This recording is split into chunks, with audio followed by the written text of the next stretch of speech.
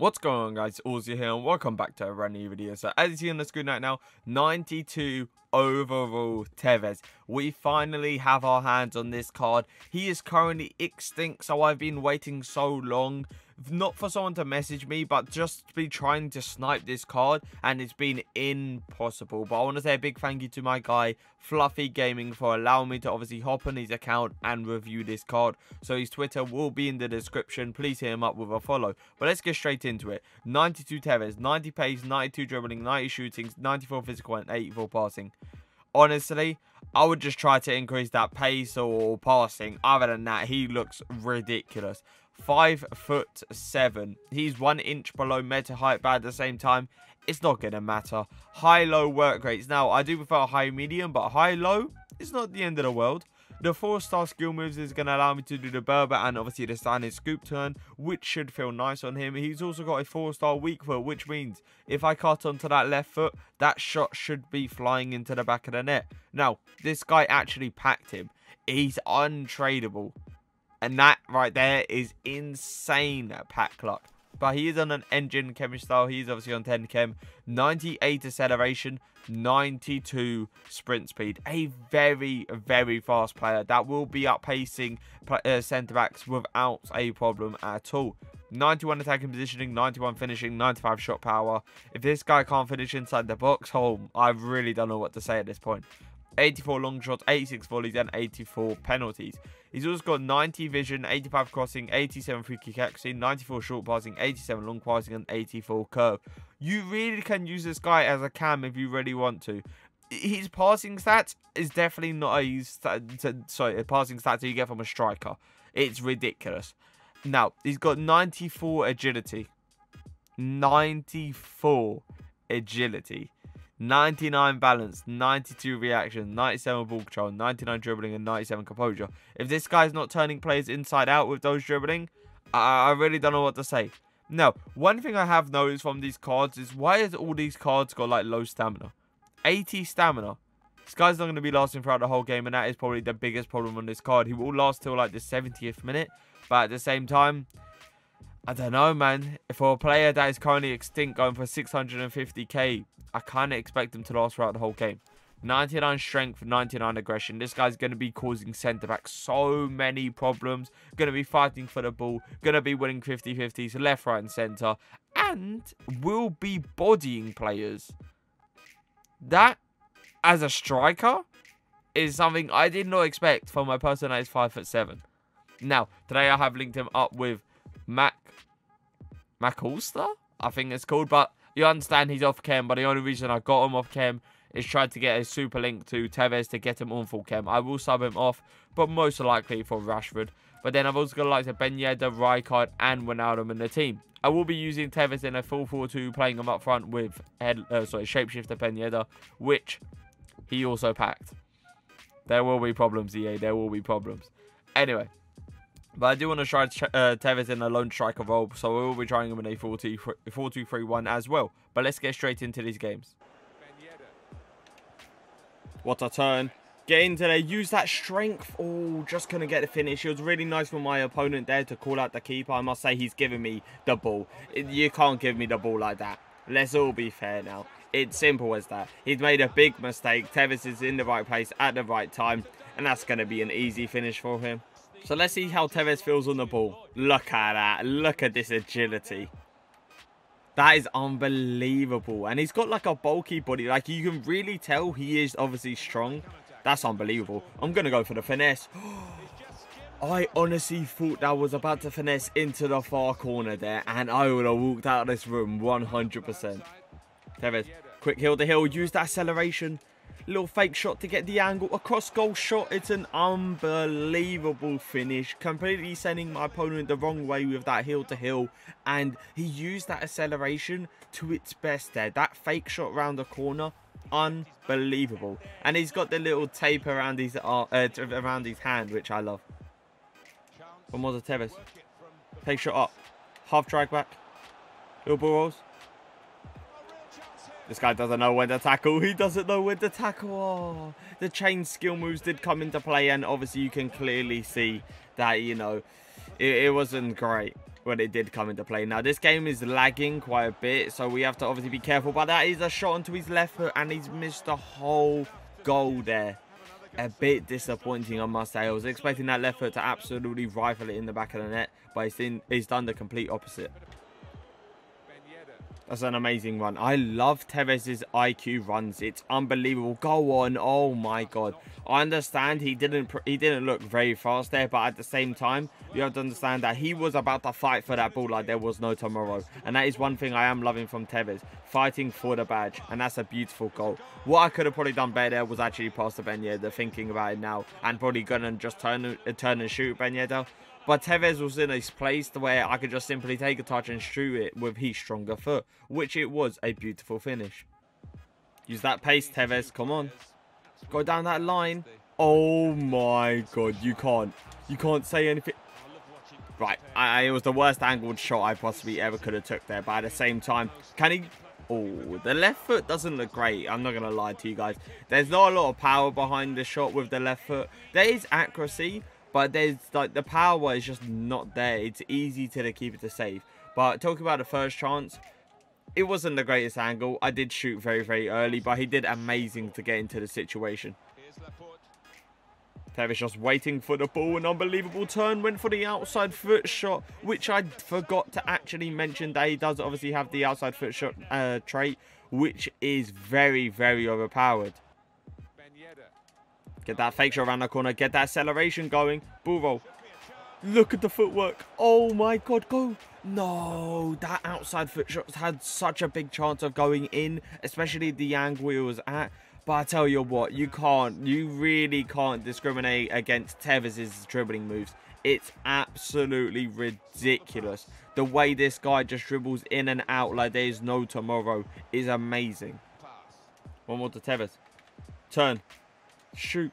Go for the cross goal shot. I should have gone for a near post once again. That's just me screwing up chances like there's no tomorrow. But great positioning from Tevez once again.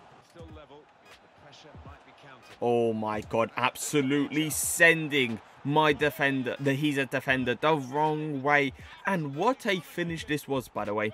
The angle it was pretty decent. I got him in a decent angle, but the dip, it was like a, it was like a dipper in a way. Look at this. It went very high, then instantly dipped into that top corner fairly quickly. One thing I have noticed, they got that thing.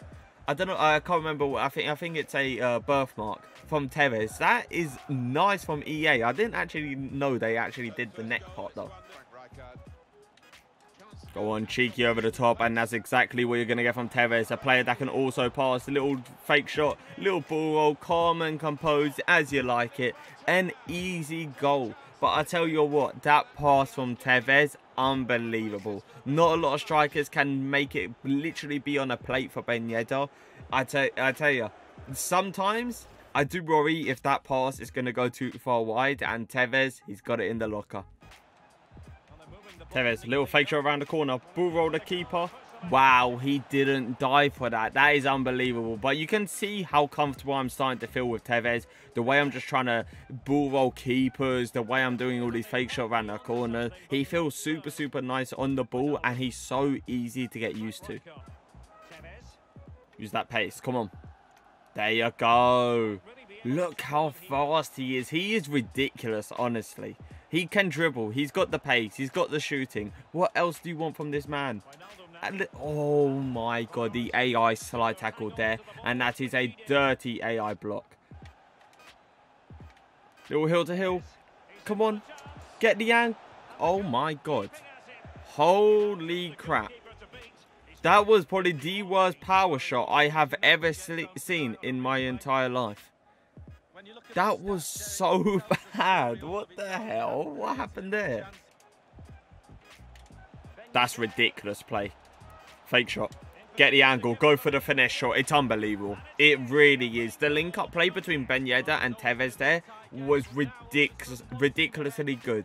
Uh, but I tell you what, the calm, composed Tevez going round the centre-back, then fake shotting because he sees the keeper coming out right here to just go for a top Bin's finesse shot is unbelievable. That's insane pace by Tevez. Come on. Let's see what you can do here. Fake shot. Burro. Get into the angle. Drag back. Go back forward. Little footwork. Now that, oh my god, Ben Yedder tackled. He could have took an easy shot, but Ben Yedder somehow tackled. Tevez did all that work so Ben Yedder can get a, a weird animation. Now, I'm not going to lie, wasn't the greatest defending from my opponent. I think everyone can agree with that. But at the same time, we can't take anything away from Tevez's footwork there. Nice. Really good acceleration. Fake shot around the corner.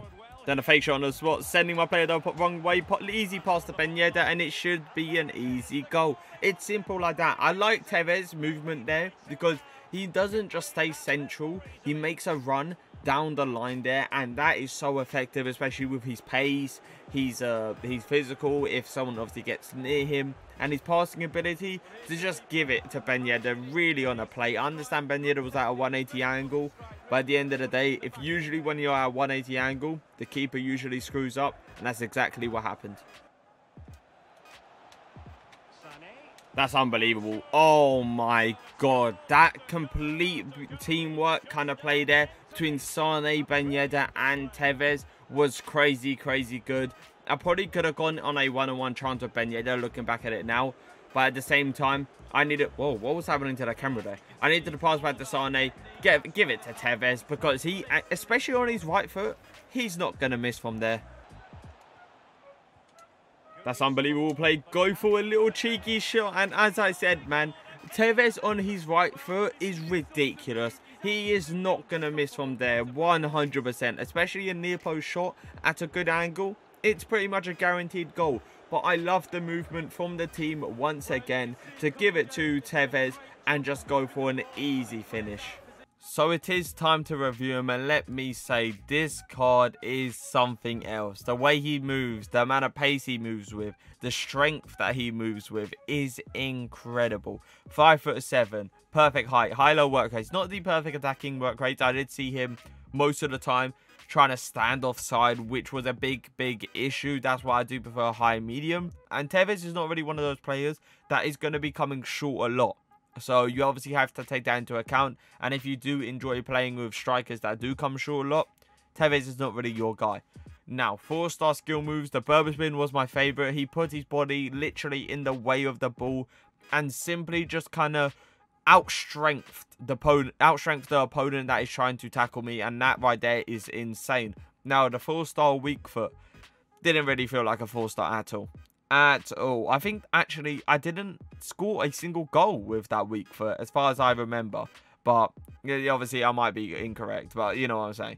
The his right foot was 100% the dominant foot and it clearly showed it. Pace-wise, unbelievable. I loved his fake shots around the corner. Used his strength, he used his aggression to obviously, if he did end up losing the ball, he would instantly try to fight for it back, which is a nice sight to see. Finishing with the right foot, unbelievable. Pretty much every shot went in. With the weaker foot, we have a big, big issue. Now, passing-wise, crazy, crazy good passing. The way he can go at 180 turns, do the over-top through balls, to do link-up play, the 1-2s. The link-up play between him and Ben Yedder was out of this world. Dribbling, he feels so, so nice on the ball. It is stupid how good he feels on the ball. He feels, he feels similar to Messi in a way, and that's how good he is. Now, stamina, didn't last throughout the whole 90 minutes, and that is a problem you are going to have.